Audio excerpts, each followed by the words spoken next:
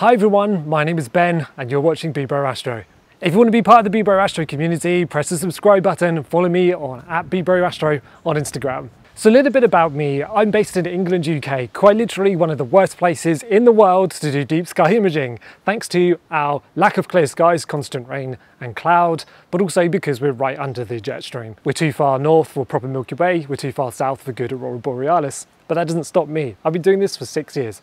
I do think anyone in the UK needs a pat on the back because the resilience you need to do deep sky imaging, long term, or any astronomy is really quite something. Sometimes we have clouds for quite literally months on end, and if you do planetary, the seeing conditions are generally terrible. However, that doesn't stop us, we still push and persevere. Over the years, my setup has changed quite a bit. I started on the humble beginnings with a Star Adventurer and my Canon camera setup.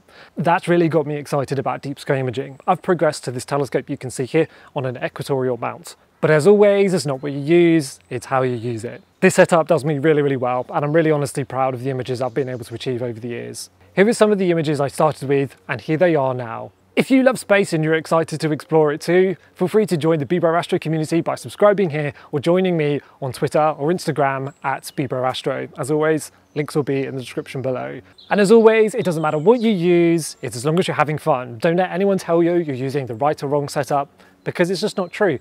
If you're enjoying it, that's the main thing.